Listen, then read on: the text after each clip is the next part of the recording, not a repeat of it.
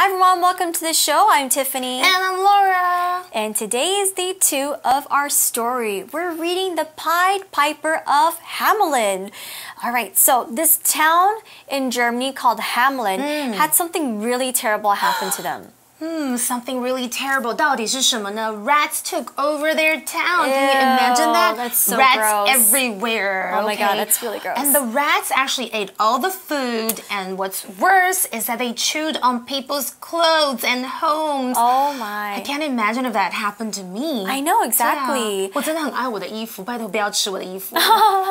that must mean the town is really dirty. I don't know. Gross. That's pretty gross. But you know, the town they did try to use ways to get rid of the rats. They like for did? example, mm-hmm. they used cats to try to mm. catch the rats, but it just didn't work. There's too many rats.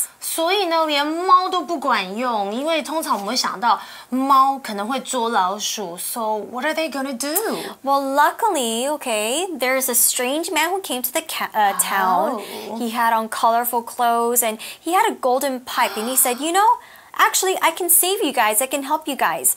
I, if you can give me 10,000 gold Uh-huh. coins, I can get rid of all the rats for you. sounds like that a pretty good Yeah, deal. sounds like a good deal. Anyways, this town is rich, right? 对啊，怎我们忘记了，他们其实很有钱呢。所以如果要有人帮他解决这个鼠患，should be no problem. So Yeah. let's find out what happens today. Yeah, let's read.